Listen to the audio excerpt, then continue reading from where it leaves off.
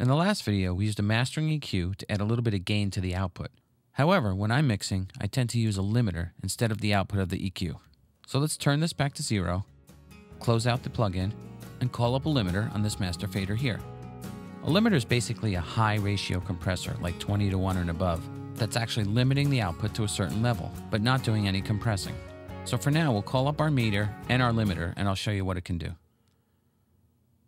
Let's insert a limiter. I tend to turn to the Oxford limiter. Has a good sound, nice and clean. Can get some good punch out of a mix. Okay, we'll just put that over here, but we'll also call up a meter so we can watch the levels change. And let's call up the meters, and we'll put those over here. And we'll lock the plug into position right there. Okay, let's roll some audio. First thing I'll set is the output level. So the level of the mix will never go above the assigned output level. Let's just drop it a little below zero for now. And let's push the gain up. We'll start with just above three. Okay, notice our level is now higher. Let's bypass.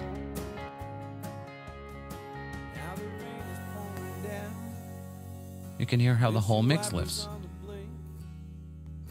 So we have just over 3 dBs of gain added to the mix. We could limit the mix more if we chose to.